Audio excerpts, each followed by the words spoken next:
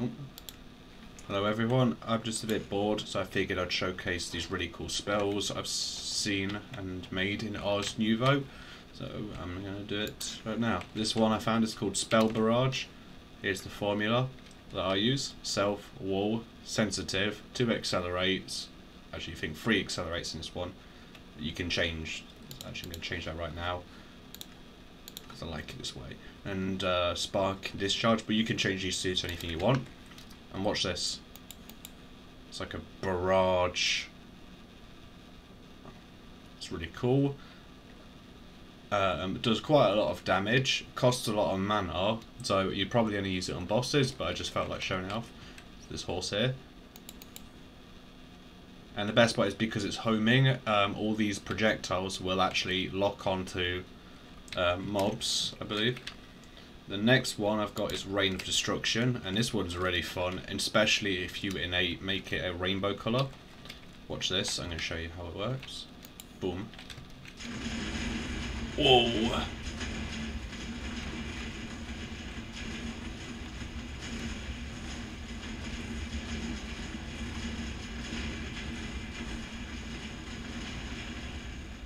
it's pretty funny. This one I love as well. It's not necessarily the most powerful, but it's a pretty fun one to use. So there's uh, some sheep over here. Let's go. Let's see this sheep, or this cow? Into the ground with you.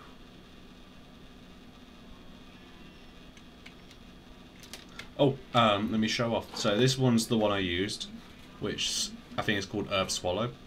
And the one that I called Rain of Destruction is here.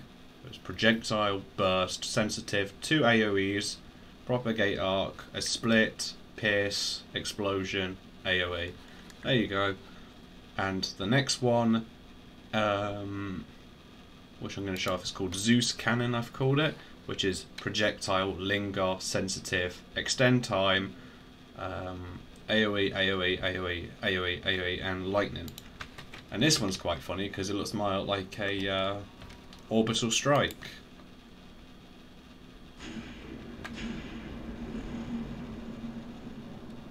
You can actually replace this with an explosion and it will go all the way down, but uh, I'll let you mess around with that because that's part of the fun. Anyways, I felt like showing this off because I was bored and had nothing better to do, not even in the mood of editing, so yeah, uh, goodbye.